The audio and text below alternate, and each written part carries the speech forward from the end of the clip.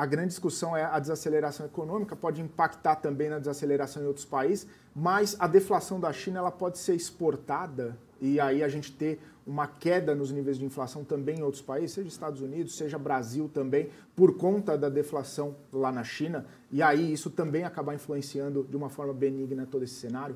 Isso ajuda, você vê que os preços aos produtores no mundo eles estão mais baixos de fato, e isso ajuda vindo também, assim como a China atrapalhou no ano passado, uhum. agora tem colaborado. Essa é uma dinâmica interessante. Quando, quanto mais globalizado, uhum. realmente os preços eles vão, vão de um país para o outro, seja efeitos negativos, seja efeitos positivos. Agora, para frente, a gente tem que monitorar bastante o que está acontecendo na China. Acho que o Bruno Marques, gestor de, do XP Macro, ele falou um ponto bem interessante que, curiosamente, foi desmentido ontem, hoje. Mas, mas não criticando o Bruno. Que o Bruno falou, ah, a gente sempre teve uma crítica sobre os dados da China não serem tão confiáveis, uhum. mas recentemente a gente tem visto uma volatilidade, a gente tem visto realmente que dava para confiar. Aí a gente tem a notícia de hoje de manhã de que eles não vão mais divulgar o uhum. desemprego para os jovens, que o Bruno precisamente falou que era um ponto de pressão da população chinesa sobre o governo. Então, volta-se a ficar com aquela caixa meio estranha, a gente não sabe bem o que está acontecendo lá dentro, tem que monitorar. Parece que eles não estão indo para a meta de 5% e a gente já viu no começo do ano que o protesto da população chinesa faz o governo reagir. Ou seja, né, a teoria de quem acreditava que os dados eles poderiam ser né, maquiados ou de repente ali não tão, agora cai, né? Porque já agora então eles não vão divulgar esses dados. Curiosamente, né? quando bate o recorde de 21,3% é. de desemprego entre os jovens, ah, agora a gente não divulga mais agora essa abertura. Mais. Nessa hora não divulga mais. É, e aí você tocou num ponto importante, né, dessa possibilidade, inclusive, né, de não atingir a meta de crescimento de 5% este ano. A gente já vê que é uma meta mais conservadora do que os próprios anos anteriores, acho que 2021 Sim. a China cresceu 8%, muito impulsionada pelo setor ah. também imobiliário, que agora, de novo, está ali. Né? Talvez de novo não seja a palavra, porque até ouvi alguns especialistas falando nunca cessou. Né? Ainda, né? Ainda, é. Vamos dizer o ainda. Obrigada, Felipe. O ainda. Eu queria entender exatamente sua leitura em relação aos impactos disso a gente trouxe um ponto importante que o Felipe falou da inflação, ou melhor, a desinflação ajudando as outras economias também, mas e a falta do crescimento, os impactos que isso pode acabar gerando para as demais economias, globalmente falando? É, eu acho que parte do crescimento na, no segmento imobiliário, ele tem que ser bem monitorado pelas empresas brasileiras de commodities uhum, metálicas. Uhum. Se elas estavam projetando uma demanda chinesa extremamente aquecida nos próximos anos, elas têm que incorporar isso nas suas projeções e traçar planos com base nisso.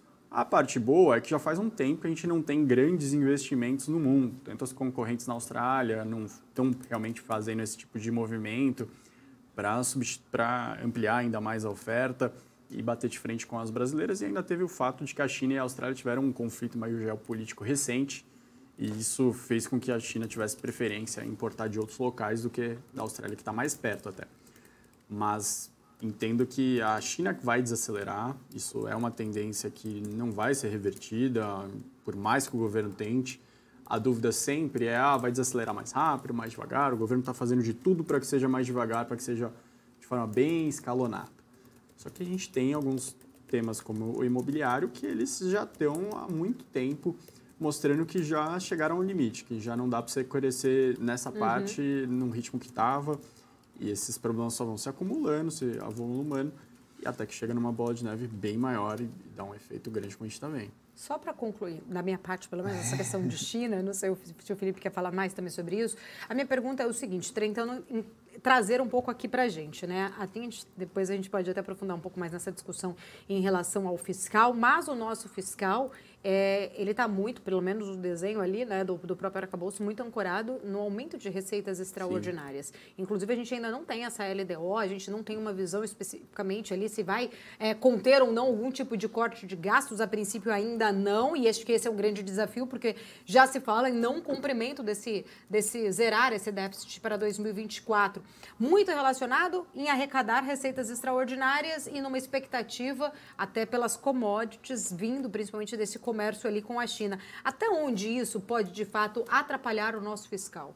Ah, atrapalha bastante, sim. Você já vê que tem uma relação grande que quando os preços de commodities começam a cair, por mais que a quantidade tenha sido bem maior do que projetado, até safra recorde, já começa a ter algum impacto na arrecadação. Para o ano que vem, para chegar pelo menos uhum. perto do limite inferior, o Brasil teria que crescer perto de 2,5%, que é factível, tá? Uhum. Acho que dá para. Não precisa ser nem muito otimista para chegar lá. Mas pelo agro. Uhum. O agro ajudando também, ajudando mas bastante. acho que o consumo voltando, voltando. A, a, gente vai ter uma renda um pouco maior ano passado, o endividamento já começou a cair, a adimplência já começou a cair na ponta. Tudo isso está uhum. acontecendo, vai dar alguma ajuda. Tá. Mas ainda é muito para arrecadação. O governo lembrando que no governo anterior, o Paulo Guedes teve uma hora que ele mexeu em 10% de 5 mil itens, cortou uhum. na questão de importação. Do nada foi pum para baixo. Aí o governo já está voltando a recuperar alguma arrecadação nesse, nesses itens de importação. Setor uhum. lácteo, excluindo o Mercosul, voltou, foi para 18%. A borracha também voltou a, a, a tarifa subir.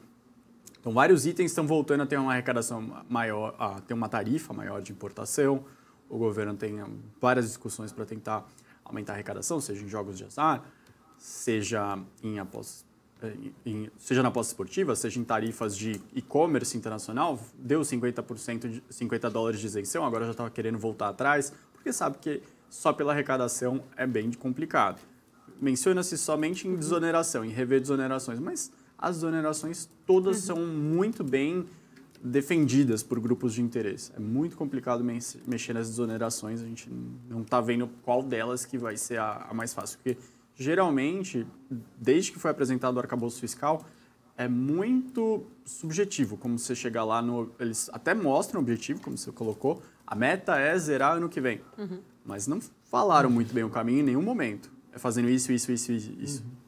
É sempre assim, ah, a gente vai chegar, mas não falam exatamente qual é a ponte.